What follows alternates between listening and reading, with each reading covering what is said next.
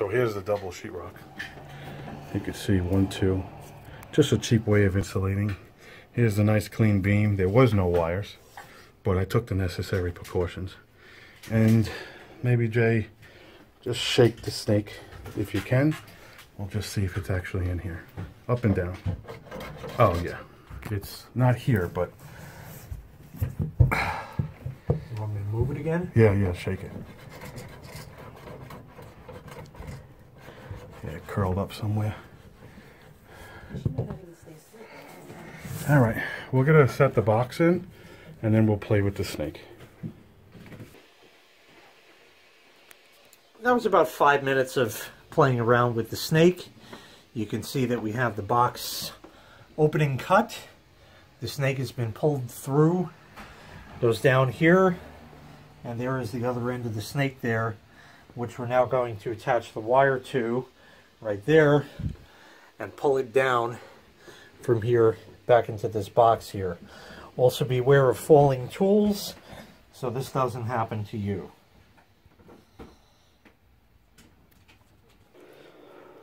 So correction is that we're going to pull the wire up. If you pull it down from the top, it has a tendency to get caught on the lip of the existing box. It's easier to pull it up and through. So we bent the end of the snake to form a hook. You strip that away and get your ground wire, crimp that on there with your linesman's. Get everything as straight as possible and start pushing until you can get it through the box. Just like that. And see what I'm doing here?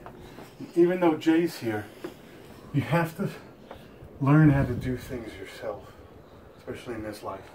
So normally I have Jay either pull or feed, but he's using the camera.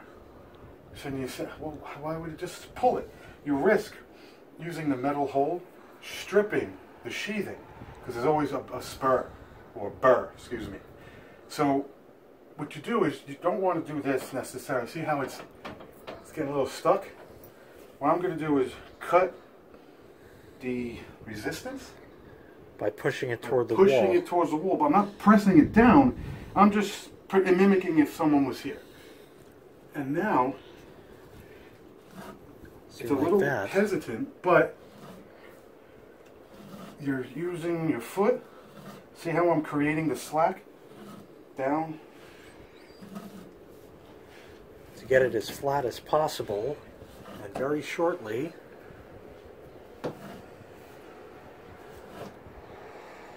Now, that's it. And what you're supposed to do is technically tape that, because sometimes you're like three inches away, and you and you you you lose it. But it's pretty much on. You're done with the snake for today. I always like to wrap it up because it's ridiculously in the way, and it hurts if it's not wrapped up, and it whips you. Because you know J.K. likes to whip it good. Okay, we're gonna get right into it. This could stay. If you choose, you could give it a little, you're already wasting the wire. This is plenty. I'm gonna probably feed it up like this. So I'll, I'll use a little bit more.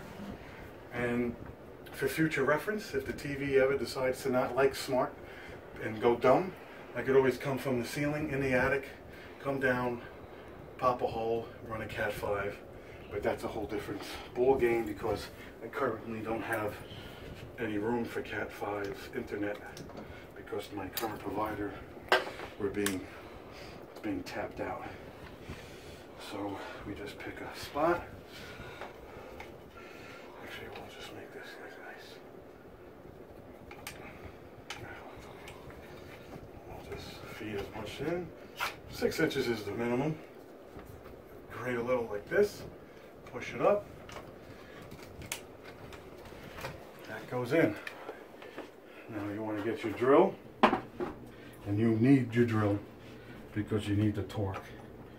There's two flaps. Double drywall should be okay, but there's two flaps here. You see that flap? That's going to go out and catch the wall, almost mimicking what the uh, bracket did.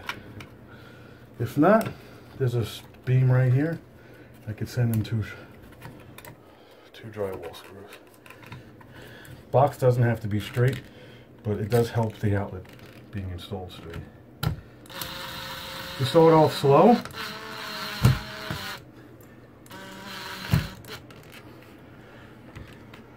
You want to feel the clamp, clamping on the drywall.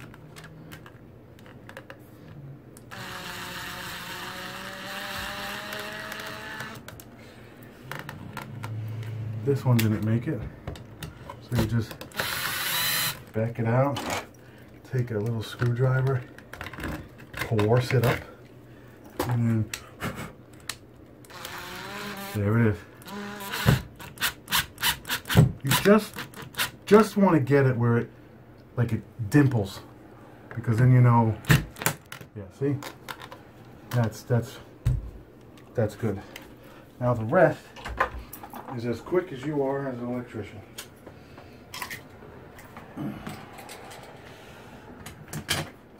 Remember always do that first because this is dead. This is dead power. It's not connected so you can play with it you could push up the slack. You could do what you want. See, I'm pulling the slack out, but I'll just push it back in when I'm done.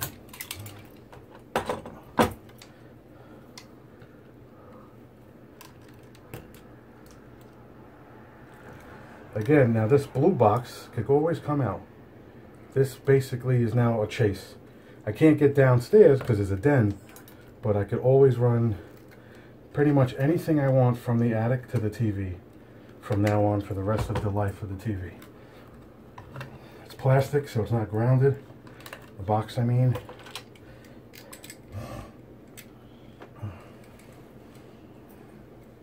Right, so I like to use the drill because it's your time. That's it. White to white, black to black, neutral to silver, hot to bronze. Again, it's dead.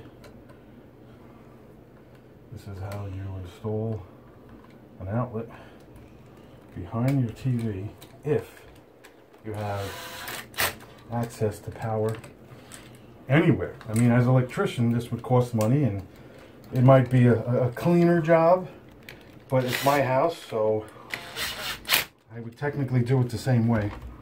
To be honest with you, I really want to do it any other way. I'd clean up, maybe take a break, you know, get a Coke and a smile, you know, but uh, what's he saying? Why did you stop talking?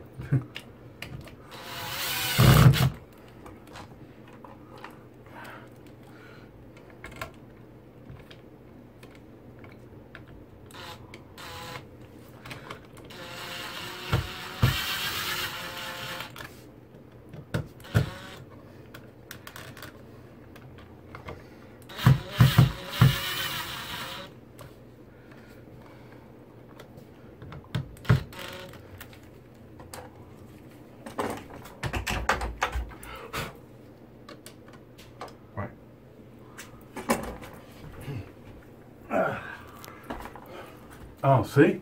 See? I want you to tell you. This is not going to cover it. Unacceptable in a person's home, even though the TV covers it. Fortunately, my home, got to get it done.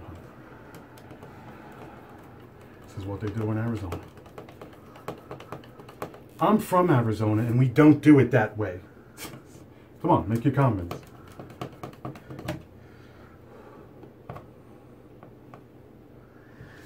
An easy fix for that is to use an oversized plate. Right, it which gets that big, sell. right. And it's just a just a shade larger, and it will cover a Mm-hmm. minor imperfection. That, I mean, that's pretty close there. Right, and That's nothing like you could hit hit that with a little bit of paint, and probably no one would even notice. Right. But if you really wanted to cover it, you can get an oversized plate, and that would take care of the problem. So One, two, just three. for shits, while he's still going, we'll come back to this, but we'll just pop this up. Again, like I said, there's a little lip. Be careful. if you want to bring it around, for right now, I'll bring it around. And Jay? Well, let me see if I can. No, no. Just come here. Just stand right here. Okay, you got it? See, there you go. I like to plug it in the bottom. And then you wrap the cord around. If Jay goes over there, You don't see it. that's it. We'll leave it up and we'll unplug it so I don't. Um, also, it is recommended to try to get a power surge, but these TVs are what? This is 140. If it zaps it, Power What's the worst surge, of course, translates into surge protector, just so you know.